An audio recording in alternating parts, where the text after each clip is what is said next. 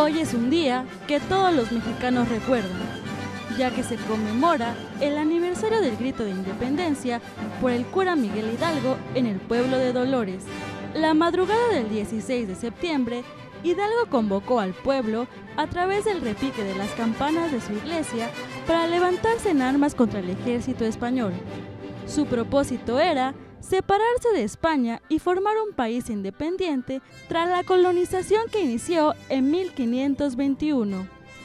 Aunque el grito de independencia se dio a la madrugada del 16, fue Porfirio Díaz quien estableció que la celebración fuera la noche del 15 de septiembre, acorde también al festejo de su cumpleaños. Hoy, a 207 años de aquel suceso, la celebración en Oaxaca se muestra sobria y triste, ante el terremoto del pasado 7 de septiembre.